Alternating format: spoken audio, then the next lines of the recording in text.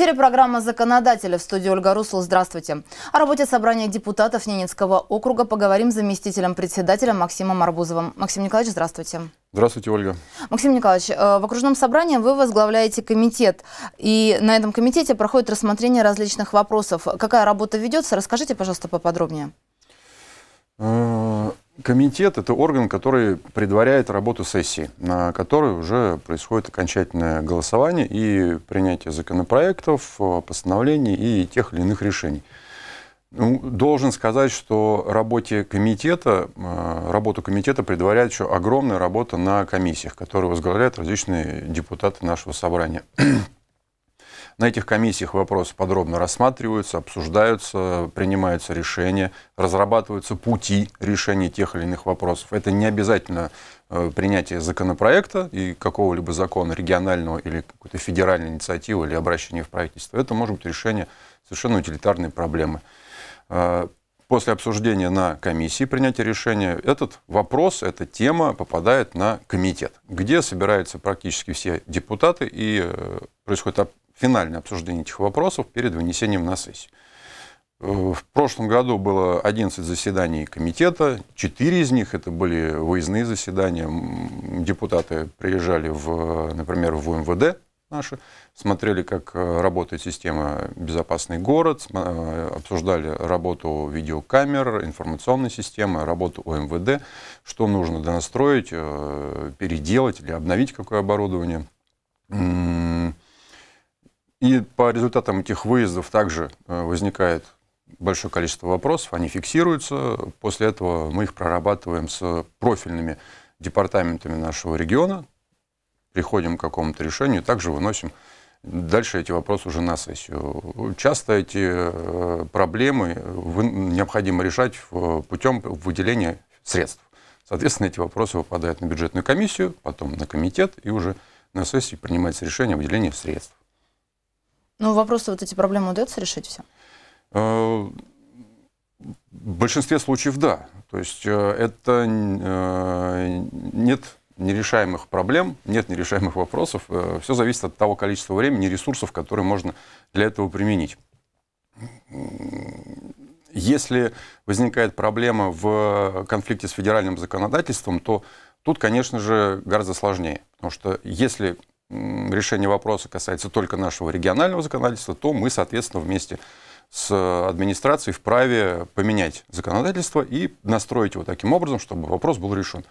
Если мы вступаем в конфликт э, с федеральным, то либо вопрос мы не решаем на региональном уровне, э, либо мы пытаемся это сделать и предлагаем изменения в законы, отправляем э, письма в Государственную Думу, просим их проработать, это наше предложение.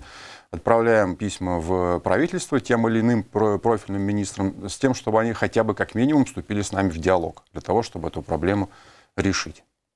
Как раз расскажите, пожалуйста, какая работа ведется э, с обращениями в правительство Российской Федерации и с законодательными инициативами, которые собрание депутатов отправляет в Государственную Думу. Э, одна из э, важных для нашего округа э, инициатив, над которой мы достаточно давно уже работаем вместе с федеральным правительством, это изменения в закон об отходах производства и потребления. На данный момент законодательство обязывает вывозить ТКО раз в 11 месяцев для нашего региона и других регионов, где очень сложная логистика, то есть у нас короткий период навигации в отдаленные села, э, и вот за, в течение э, этого короткого времени нужно вывести все отходы из этих э, сел, с площадок накопления. Времени не хватает. Мы вышли с предложением, направили законопроект, наше предложение в Государственную Думу год назад, где предложили для регионов и населенных пунктов, удаленных э, от центра и со сложной логистикой, увеличить этот срок до 36 месяцев. Законопроект был рассмотрен э, Государственной Думой и отклонен. Э, мы пообщались с нашими коллегами из Государственной, из Государственной Думы, из правительства, и сейчас готовим новый законопроект, где попробуем увеличить срок вывоза ТКО хотя бы до 12 месяцев. То есть здесь уже нам будет гораздо проще. Ну, соответственно, направим и будем ждать э, результата. Также достаточно остро стоит вопрос о узких медицинских специалистах в нашем округе и во многих других отдаленных. И она заключается в том, что проблема заключается в том, что количество узких э, специалистов, которые финансируются за счет ОМС, зависит от количества жителей в том или ином регионе. Так как у нас количество жителей небольшое, происходит эффект малых чисел, соответственно, квот нас гораздо меньше. И для того, чтобы у нас были специалисты, нам приходится финансировать их э, работу, оплачивать их труд за счет регионального бюджета. Мы проработали инициативу, направили э, Татьяне Алексеевне Голиковой, ну, в том числе и в Государственную Думу, с тем, чтобы э, изменить это квотирование и исключить условия прямой зависимости количества узких медицинских специалистов от количества населения в регионе. На данный момент ждем ответ Соответственно, по той информации, которую мы получим, будем понимать, как нам действовать дальше. Также достаточно давно мы работаем над вопросом субсидирования бюджета. Э, субсидирования бюджета, это было бы здорово, что происходит. О субсидировании бензина. Не секрет, что в населенных пунктах, которые далеки от Наринмара, цены на бензин зашкаливают и превышают 80 рублей за литр, 100 рублей за литр. Раньше э, на региональном уровне мы могли субсидировать такие подакцизные товары, потом это, эту возможность убрали. Сейчас мы общаемся с правительством с тем, чтобы вернули. Э, буквально перед Новым годом, вернее, после Нового года у нас было заседание э, по ВКС с Государственной Думой, где в том числе этот вопрос был поднят. Нам сказали, что мы что правительство имеет возможность предоставить регионам э, право субсидировать. Но э, возможность правительства имеет, но такое право нам пока не предоставлено. То есть мы продолжаем работать над этим, с тем, чтобы можно было снизить до, приемлемой, э, до приемлемого уровня стоимость бензина для отдаленных сел. Еще инициатива очень интересная, над которой мы работаем достаточно долго, с тех пор, как начали обсуждать и потом впоследствии приняли закон об арктической зоне и резидентах этой арктической зоны. Э, ну, мы начали над ним работать уже года три. Э, часть наших предложений была учтена уже в этом законе. Например, порог входа для того, чтобы стать резидентом арктической зоны, снизили с 10 миллионов рублей инвестиций до 1 миллиона рублей. Э, ну, еще ряд других предложений. Сейчас мы работаем над тем, чтобы резидентами арктической зоны могли стать э, общины КМНС, коренных малочисленных народов Севера, э, и э, предпри... малое и среднее предпринимательство. Мы направили свой законопроект, предложение в Госдуму о внесении изменений в этот закон. После январских праздников было заседание по ВКС, где нам сообщили, что в той редакции, которую мы предложили Государственной Думе, э, этот закон принять нельзя. Но сама идея э, их очень заинтересовала. На заседании присутствовали представители Федерального агентства по делам национальности, Министерства финансов и так далее. Они добавили даже к нашему предложению еще ряд э, идей и сказали о том, что, скорее всего, наша инициатива об изменении э, списка резидентов, о включении в для того, чтобы включить в резидент арктической зоны общины КМНС, скорее всего, нужно рассматривать э, в других законах, не в законе об арктической зоне, потому что он направлен именно на коммерческое развитие арктической зоны и привлечение коммерческих инвестиций. Здесь э, больше вопрос, наверное, касается социальной ответственности этих общин, предоставления работы оленеводам, сохранения традиционного образа жизни и самого оленеводства. И они предлагают э, как возможность рассмотреть э, такую поддержку либо в законе о сельхозпроизводителях, либо в, самом, в самих законах, которые касаются коренных малочисленных народов Севера. То есть они оставляют эту идею у себя в работе, и в рамках рабочей группы комитета, который рассматривал наш вопрос, будут э, продолжать над ним дальше работать. Мы договорились о том, что пока э, ковидные ограничения по переездам, командировкам и общению очному э, присутствуют, будем работать по удаленке, по ВКС с ними. Как только ситуация станет легче, то они начнут нас приглашать уже на очные заседания наших депутатов.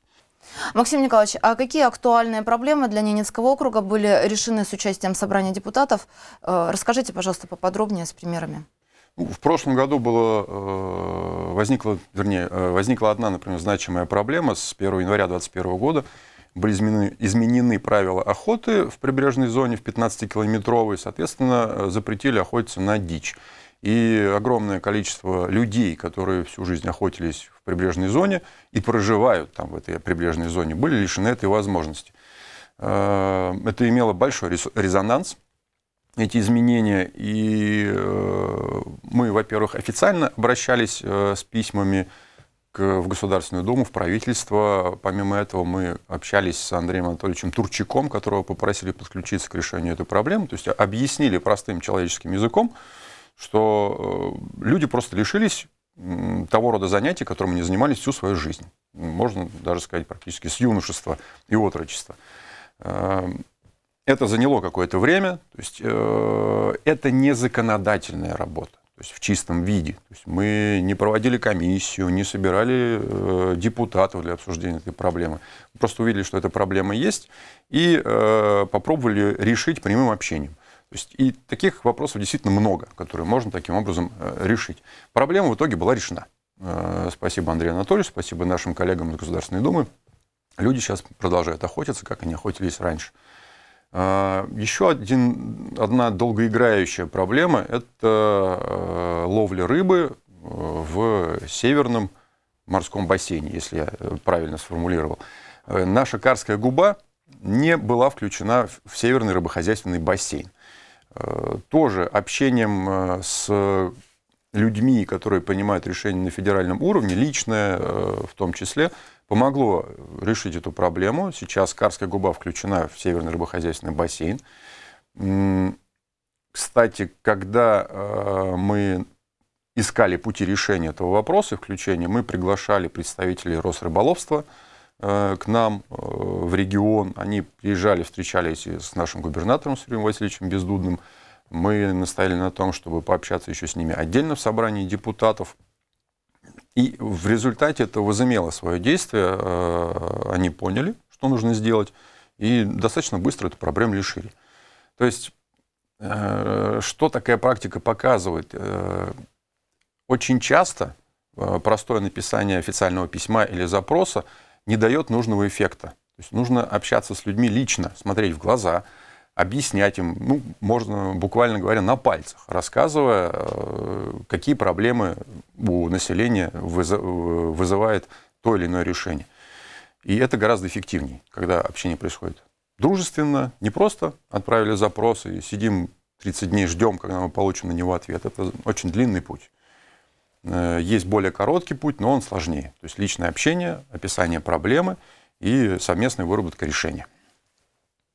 А каким образом э, собрание депутатов осуществляет контроль за исполнением окружных законов? И вообще осуществляется ли такой контроль, что делается в этом направлении? А, ну, тут э, несколько инструментов. Э, один из, например, самых простых – это написание письма в тот или иной орган, в тот или иной департамент с тем, чтобы получить статистику. Ну, например, той или иной льготе, сколько людей ее получило, сколько должны получить, в каком объеме э, использованы средства, которые были выделены из бюджета. И это показывает эффективность. То есть, если, например, на э, определенную меру социальной поддержки выделено 20 миллионов э, рублей на, на год, а люди взяли только 10, людям выдали только 10, это говорит о том, что где-то происходит сбой. То есть либо люди, а, не знают об этой мере социальной поддержки, они не подают заявление, либо они подают заявление, но вовремя департамент не успевает выделить деньги.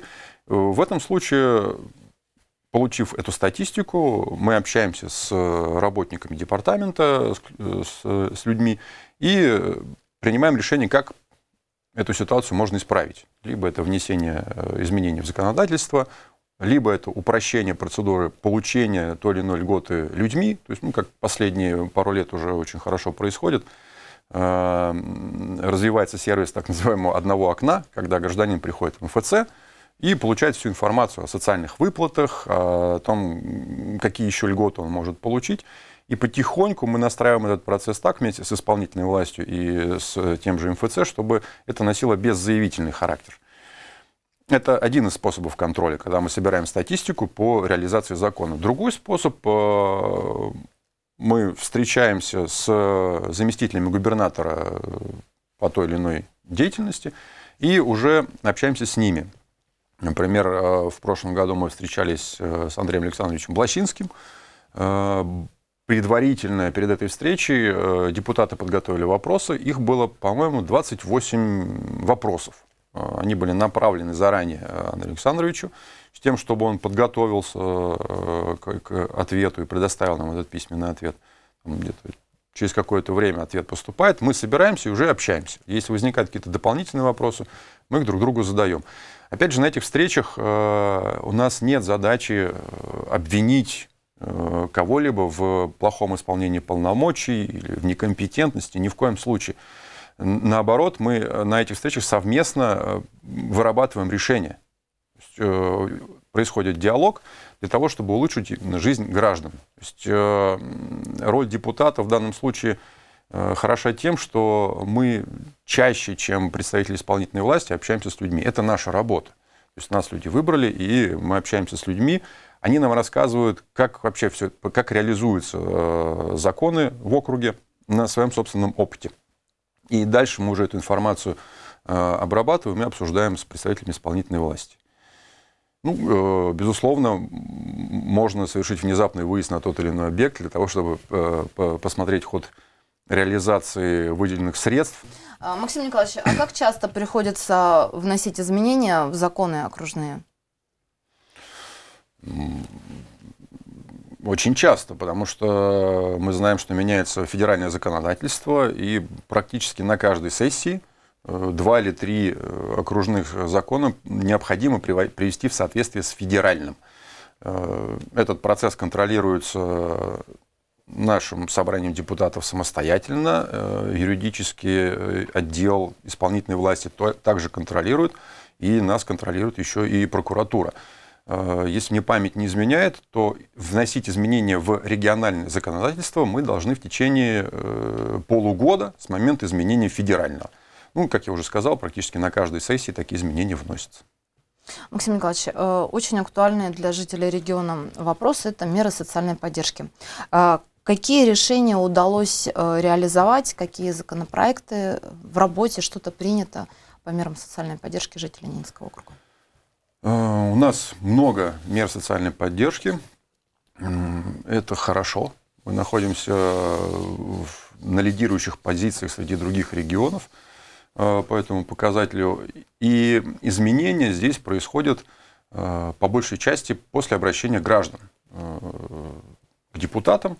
Например, в прошлом году внесли изменения в закон о социальной поддержке детей-инвалидов, э, некоторые из них учатся за пределами региона, потому что нужны специальные образовательные учреждения. И э, раньше они могли учиться до 17 лет, то есть до 17 лет округ компенсировал стоимость такого обучения этим людям. В прошлом году мы продлили срок компенсации до 18 лет включительно, потому что, как выяснилось, образовательная программа э, рассчитана таким образом, что и в 18 лет люди еще продолжают учиться и заканчивают это обучение. Также приходили граждане, усыновители э, наши окружные, с э, предложением изменить законодательство в том плане, что при усыновлении ребенка выплачивается э, помощь от округа в размере, по-моему, 500 тысяч рублей.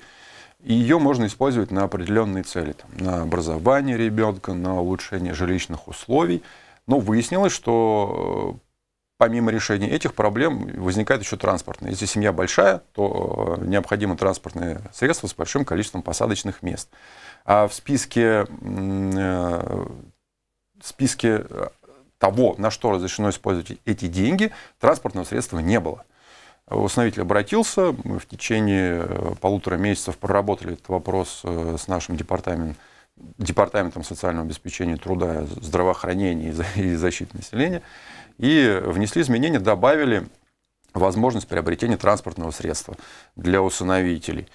Эм, Был запрос также от группы граждан, работников медицинской сферы. Возникли трудности с оплатой больничных и с оплатой отпуска по временной нетрудоспособности, по беременности. Тоже пришлось потрудиться, поработать с исполнительной властью, провести несколько совещаний. В итоге деньги были найдены, выделены и задолженность перед людьми погашена. Эм, была поездка в Красное, где общались э, с сельскими специалистами, которые работают в бюджетной сфере. Э, есть такая норма, что в зимние месяцы, э, в течение трех месяцев, компенсация за ЖКХ для этих специалистов составляет 2160 рублей. Когда в летние месяцы эта компенсация, по-моему, 1200 с чем-то. Но в течение трех она в два раза больше. И э, на самом-то деле зима у нас не три месяца, а гораздо 9. больше. Да, ну, девять. Э, нам удалось э, договориться с исполнительной властью с тем, чтобы увеличить срок предоставления этой субсидии с трех месяцев до шести. Провели форум «Здоровая Арктика, здоровые дети». По-моему, так он назывался. Э, инициатором выступили депутаты, и вместе с э, нашей исполнительной властью, вместе с коллегами из Архангельской области провели такой медицинский форум. Э, то есть была часть, как это сказать, заседательная, где присутствовали медицинские работники из Архангельской области, наши представители, родители, исполнительная власть, депутаты. И была такая рабочая часть, когда медики из Архангельска принимали наших детей. Два дня они это делали, потом было окончательное заседание, на котором был принят ряд э, резолюций. В итоге э, одна из наших региональных инициатив, которая воплотилась после этого форума, расширили круг детей, которые могут получать э, медикаменты за счет округа бесплатно. То есть это ребята, которые учатся в Наринмаре, сел, и девушки, и проживают в, в интернате. Они далеко от родителей, пока родители перешлют им деньги, а если они приболели, у них насморк там, или еще что-нибудь, ОРВИ, ОРЗ, это занимает какое-то время. И чтобы медицинская помощь и медикаменты давались оперативно, их включили в список тех, кто может получать их бесплатно. Другая инициатива по результатам форума – это витамин D. То есть э, дети Ненецкого округа по рецепту врача могут получать витамин D в аптеке бесплатно. Ну, э, на самом деле, инициатив-то э, очень много. Э, осенью обсуждали, встречались с коллегами из Заполярного района, из поселка Искателей, я имею в виду депутатов наших. По результатам этих встреч и работы с департаментом финансов и с губернатором Юрием Васильевичем на конец года были воплощены такие идеи 20 миллионов было выделено дополнительно рублей на программу 30 на 70 строительство жилья на селе. 101 э, миллион был э, выделен на компенсацию многодетным семьям взамен предоставляемого участка. И 150, э, по-моему, миллионов было выделено на выкуп ветхого аварийного жилья у людей. Э, и эта работа она, ну, не требует от нас внесения изменений в законодательство, но она, опять же, требует переговорного процесса, общения с, непосредственно с теми, кто выделяет деньги. Это наш департамент финансов, наш местный Минфин, который пытается сохранить деньги. И наша роль в том, чтобы найти баланс, найти гармонию и между просто сохранением денег и улучшением жизни наших граждан. Вот как раз вопросы бюджета одни из самых обсуждаемых в собрании депутатов. А, расскажите, пожалуйста, какие э, вопросы, какие статьи бюджета вызывали больше всего дискуссий? Тут, наверное, можно попробовать пошутить и сказать, что какие статьи бюджета не вызывали дискуссий. Что хочу отметить. В этом году э, нам удалось э, гораздо лучше поработать над бюджетом, можно, наверное, даже сказать, легче потому что вносили изменения в наш э, законодательство о бюджетном процессе э, последние полтора года. Не часто, но два, по-моему, изменения мы внесли. Сейчас работа построена так, что мы проводим так называемые нулевые чтения, просто встречаемся с департаментами, э, с департаментом финансов и ГРБСом, распределителем бюджетных средств, государственный распределитель бюджетных средств, это уже такой сленг, где просто обсуждаем, не дискутируем, не пытаемся увеличить или уменьшить объем средств, а просто смотрим, сколько планирует, сколько хочет получить средств тот или иной государственный распорядитель бюджетных средств и сколько средств готов выделить Департамент финансов. Знакомимся с этой темой, потом э, были проведены э, общественные слушания Департаментом финансов с приглашением депутатов, общественности, заинтересованных лиц. Потом были проведены депутатские слушания и работа на комиссиях. То есть, э, когда уже подошли к обсуждению самого закона и внесению в него изменений, мы знали, э, где какие суммы, спокойно их обсудили и понимали, где мы их э, можем взять, деньги для того, чтобы увеличить финансирование. Острый вопрос в этом году был, например, субсидирование транспортных расходов, субсидирование сферы ЖКХ – в прошлом году из-за сложности с бюджетом, э, при принятии бюджета на Новый год, мы закладывали их примерно в объеме 50%, потому что ну, просто денег не было. С расчетом на то, что весной и в начале лета, когда поступают доходы в округ, мы увеличиваем это субсидирование, чтобы оставшиеся 50% э, учреждениям округа добавить. Это сложная работа, все очень нервничают в этой ситуации, потому что учреждение пытается спланировать свою деятельность э, на год, а получается, что у них горизонт планирования субсидирования только полгода. Это неприятно. Потому что люди хотят планировать выезды за пределы округа, покупать билеты, получить деньги на льготную дорогу, а она субсидирована на 50. В этом году мы, пытали, мы настаивали на том, чтобы э, субсидирование было на уровне 100%. Ну, в среднем, я сейчас э, скажу, что удалось достичь 80%. По э, ряду показателей 100%, но в среднем это 80%. Это уже хорошо. То есть учреждения э, чувствуют себя спокойнее. Это и здравоохранение, это и образование, которые, как правило, э, наиболее финансово емкие, и в том числе и сфера ЖКХ, департамент строительства. Серьезные дискуссии э, развернулись вокруг департамента образования, вокруг департамента здравоохранения. С департаментом образования мы даже один из комитетов продлили. То есть он у нас шел два дня. Мы проработали часть вопросов, а вопрос образования обсуждали еще на рабочем совещании во второй половине дня. И на следующий день перед сессией мы провели комитет, и ну, нам удалось э, прийти к консенсусу. И в этом году департаментов, департамент образования сам признает, что бюджет гораздо лучше, чем в прошлом году. Они чувствуют себя гораздо спокойнее. Э, здравоохранение, конечно же, тоже острый вопрос с учетом э, пандемии, с учетом э, различных мутировавших версий коронавируса нагрузка финансовая очень большая, нужно закупать гораздо больше льготных лекарств, потому что мы приняли решение, что люди, болеющие ковидом, у нас амбулаторно также получают лекарства бесплатно. Это колоссальная нагрузка на бюджет. Ну, нашли также на это средство. Спасибо Департаменту финансов, спасибо исполнительной власти и губернатору что в этом году наш бюджет гораздо сбалансированнее и увереннее, чем в предыдущем. Максим Николаевич, работа депутатов подразумевает э, работу с населением. И в прошлом году э, было очень много обращений, и из 20 населенных пунктов э, были к вам обращения жителей, что хотели жители села, какие самые частые проблемы. Может быть, есть типичные для всех э, населенных пунктов обращения, или есть какие-то индивидуальные такие необычные просьбы. Что, что тревожит жителей глубинки? Ну, в, в прошлом году э, количество обращений было уже гораздо больше, практически в два раза больше, чем в позапрошлом. То есть там в 2020 году, по-моему, 67 было обращений граждан. Ну, я по, по своей фракции могу вам ответить.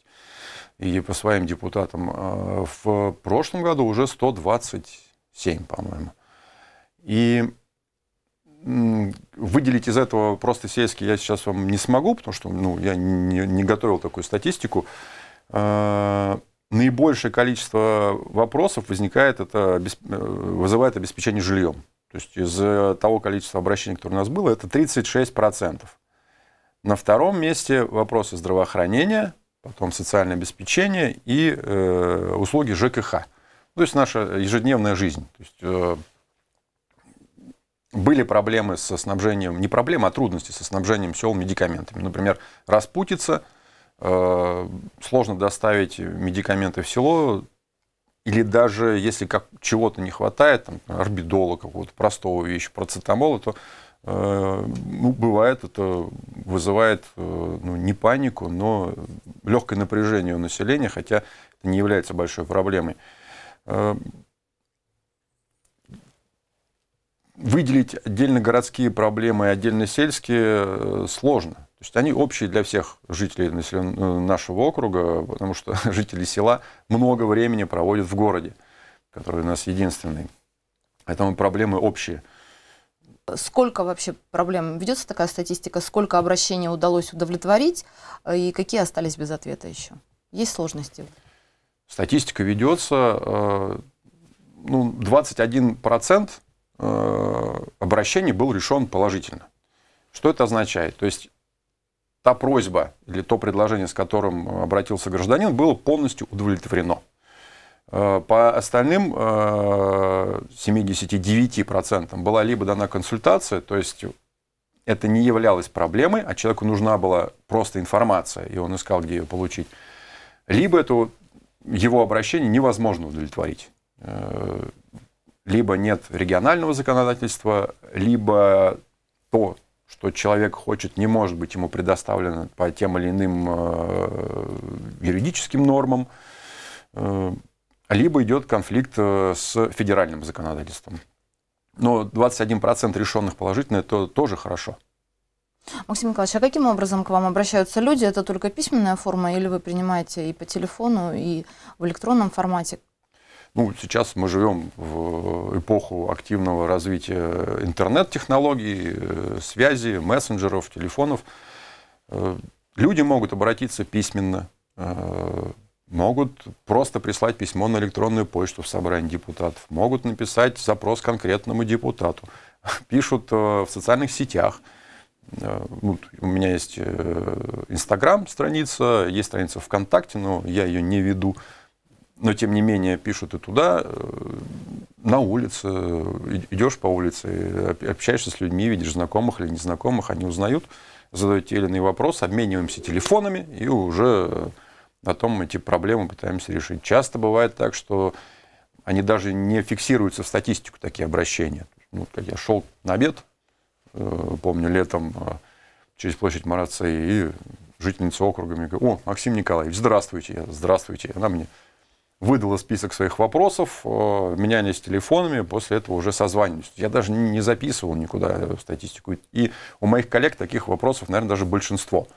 Потому что недавно, когда я перед Новым годом готовился к, готовил отчет о деятельности нашей, выяснилось, что согласно статистике у одного из моих коллег за весь год его работы всего лишь одно обращение граждан.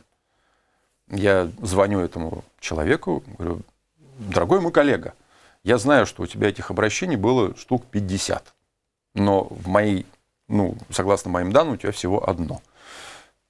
На следующее утро он мне данные предоставил, все хорошо, обращений на самом деле достаточно много. И так как э, это происходит ежедневно, это уже становится рутиной, обыденностью, то не все даже фиксируют эти обращения. То есть, ну, мы живем в городе, ездим в села, как обычные люди, ходим в магазины, в учреждения. И работа нас догоняет, как наверное, любого работящего человека в любом месте, в любой момент времени. Максим Николаевич, спасибо, что вы нашли время, пришли на программу. А, я напоминаю, что мы говорили с Максимом Арбузовым, заместителем председателя собрания депутатов, о работе собрания депутатов. До свидания, до встречи в эфире.